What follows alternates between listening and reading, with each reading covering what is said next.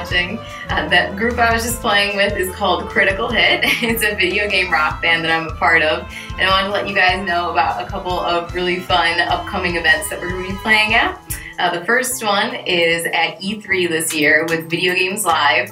We're going to be performing on June 11th in Los Angeles, so I'm really excited for that one.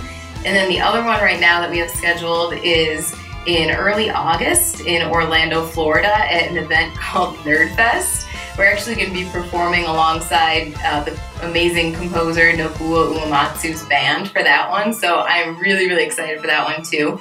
Uh, we've also got a couple of other shows in the works that haven't been announced yet, so please be sure to stay tuned on the Critical Hit Facebook, Twitter, uh, also their website. And then also I'll be updating, you know, my Facebook, my Twitter, and my upcoming performance page on my website too if you want to stay up to date with the other shows that are coming up. Um, also, I just want to let you know that Critical Hit has its own YouTube channel. Um, they have a couple of other videos that they've posted on there already, um, ones that I'm involved in, and uh, we're going to be posting more later this year too. So please be sure to check their channel out and subscribe to it because we've got a lot of fun content coming up on there as well. So thank you guys so much, and I really hope to see you guys at a Critical Hit show or one of my live shows very soon in the future. Thanks, guys. Bye.